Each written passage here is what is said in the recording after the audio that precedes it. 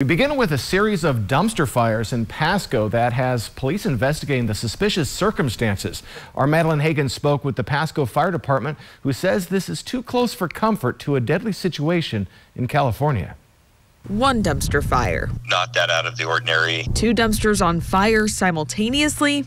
Not unheard of. Uh, as crews went en route, they were notified that it was possibly several dumpsters on fire. Four dumpster fires at the same time?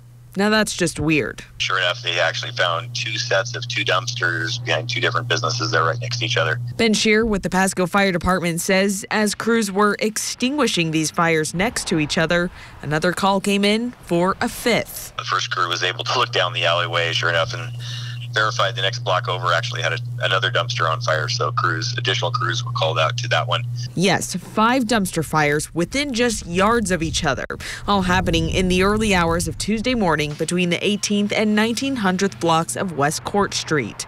Shear says no buildings were damaged, but some utility lines were. It seemed a little suspicious to us, so we uh, the crews did contact uh, Pasco Police Department. Shear says the event had crews on high alert as a Stockton, California fire captain was killed on duty while responding to a dumpster fire yesterday. And several of them said, "Hey, that was, that really was in the back of their minds that."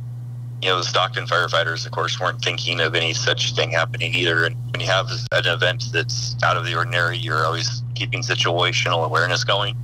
Um, you know, so crews were trying to keep an eye on things around them uh, just you know for those reasons. They're asking any businesses in the area that could have captured footage of the person responsible to contact police. For Cap Local News, I'm Madeleine Hagen. And again, if you do have a business in the area, police are asking for your help to find who lit these fires. You can contact their non-emergency line with information or surveillance footage.